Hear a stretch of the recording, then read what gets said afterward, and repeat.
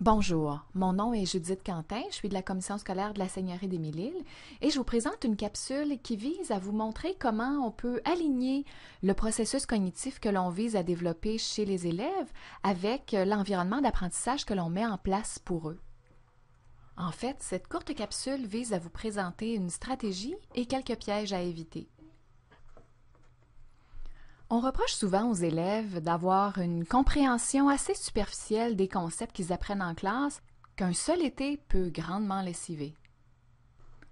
Est-ce qu'il y a des solutions à ce problème? Évidemment, comme enseignant, on ne contrôle pas toutes les variables. Par contre, l'enseignant demeure le maître incontesté des situations qu'il met entre les mains des élèves. Je vous présente la première étape de la démarche. Tout d'abord, on va se poser quelques questions avant même de décider des situations d'apprentissage que je ferai vivre aux élèves, je dois déterminer quel est le profil de l'élève sortant. Autrement dit, l'élève qui termine son année scolaire avec moi, son étape avec moi, quels sont les concepts qu'il doit maîtriser? Et surtout, jusqu'à quel point doit-il les maîtriser? Est-ce que je veux qu'il soit seulement capable de les connaître, de les reconnaître, de me les expliquer dans ses propres mots, ou bien je veux qu'il soit capable de les utiliser au bon moment, de les manipuler dans une vraie situation.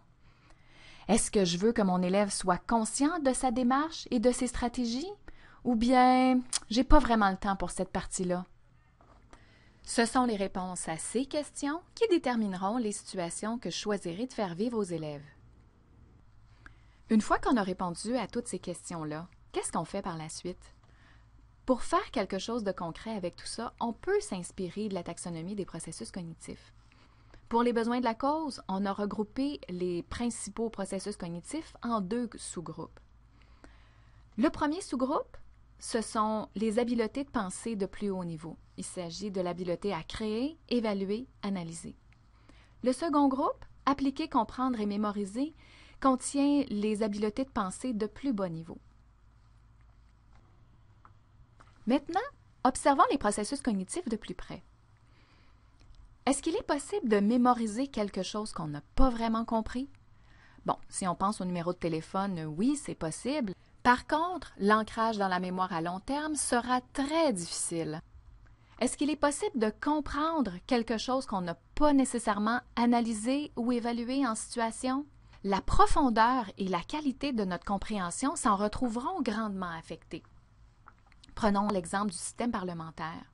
Si on demande aux élèves d'opposer le système parlementaire au système présidentiel, ils pourront en voir les différences, en analyser les avantages, les inconvénients, et si on va jusqu'à leur demander de prendre position à savoir quel système est selon eux le plus valable, leur compréhension sera beaucoup plus grande et beaucoup plus solide que si on leur avait tout simplement demandé de comprendre à partir de la lecture d'un texte.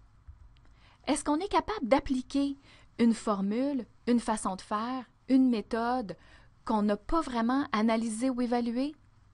Bon, si vous êtes des gens qui coupez le bout du concombre et qui le frottez pour soi-disant enlever l'amertume ou améliorer le goût, peut-être que vous n'avez pas vraiment compris, analysé ou évalué la situation. Si on demande tout simplement aux élèves d'appliquer une formule mathématique, d'appliquer une règle grammaticale, s'ils n'ont pas analysé ou évalué le contexte dans lequel cette règle-là est pertinente, il se peut euh, qu'ils soient seulement capables d'appliquer la règle ou la formule, mais qu'ils ne soient pas capables de distinguer quel contexte est pertinent pour l'application de cette règle-là ou de cette formule-là. Pour ceux qui ont connu le programme par objectif, vous vous rappelez qu'à ce moment-là, il était très facile de lire le programme, d'en extrapoler quelles seraient les situations d'apprentissage que je ferais vivre aux élèves en classe et, par surcroît, quelles seraient les questions d'examen à la fin de l'année. Par exemple, si on voulait que les élèves mémorisent les capitales des provinces du Canada, c'était l'objectif inscrit au programme et ça correspondait à la question de l'examen de fin d'année. Si je voulais que les élèves puissent appliquer une formule, je leur démontrais comment le faire et à l'examen, j'évaluais leur capacité à appliquer la formule. Par contre, on s'est rendu compte qu'il y avait un certain leurre à tout ça. C'est-à-dire que les élèves n'étaient pas nécessairement capables de distinguer dans quel contexte ils devaient appliquer une formule ou une autre Et la mémorisation comportait des écueils, c'est-à-dire que les élèves mémorisaient à très court terme. À ce stade-ci, je dois me demander quel est le processus cognitif que je veux que mes élèves soient capables de reproduire en mon absence et je dois me questionner sur les véritables implications du développement de ce processus cognitif-là. La troisième étape de ma stratégie sera donc de faire correspondre le processus cognitif que je veux observer chez mes élèves au final et la situation d'apprentissage que je devrais développer. Tout d'abord, je dois bien identifier quel est le processus visé. Comme on l'a vu précédemment, il est très difficile de mémoriser quelque chose qu'on n'a pas vraiment compris.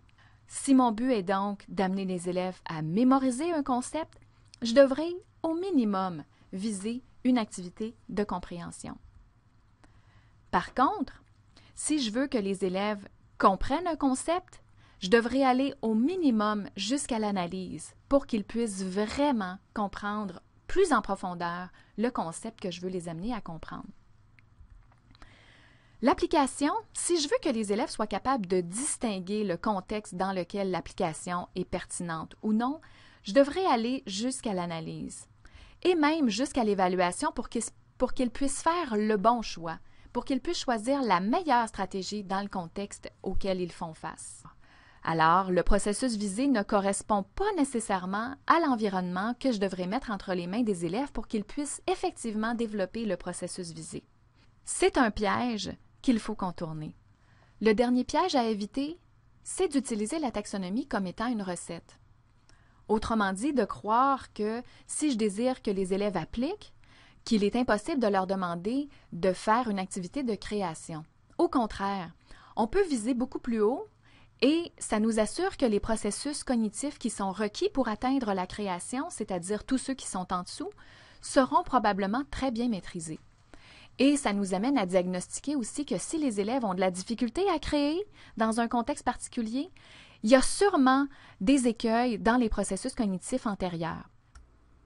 En résumé, je dois d'abord cibler le profil de sortie de mon apprenant, c'est-à-dire que je dois me demander quelles sont les connaissances et les compétences que mes élèves doivent développer, mais surtout quel est le niveau de profondeur auquel je m'attends. Une fois que c'est fait, je dois cibler le processus cognitif qui correspond à mes attentes, c'est-à-dire celui que je veux qu'il soit capable de reproduire en mon absence. Puis, je dois mettre en place une situation qui permettra vraiment de développer le niveau taxonomique que j'aurai ciblé en deuxième étape. Attention, ce n'est pas le même et surtout, faisons attention de ne pas suivre les processus cognitifs dans l'ordre comme s'il s'agissait d'une recette.